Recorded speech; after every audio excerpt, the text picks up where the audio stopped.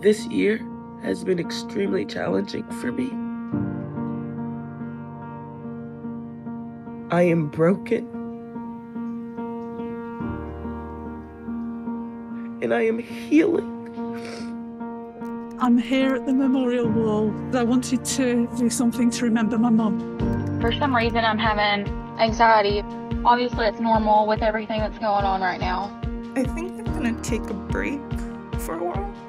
You can get through it, and if you can get through it, there's a greater reward on the other side. Just like anybody else, you know, I'm just trying to do my little part to try and save my community. I'm just really excited we're back open. And I am smiling under my mask. Incredible scenes on the day the fans came back. Welcome back to the theater.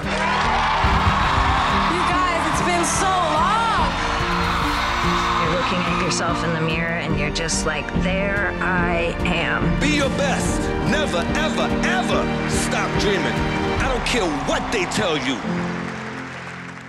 We, the jury, in the above entitled matter as to count three, find the defendant guilty. We are not drowning, we are fighting. We cannot keep quiet about climate injustice. No action is too small. We just have to band together as a community and get people's lives back.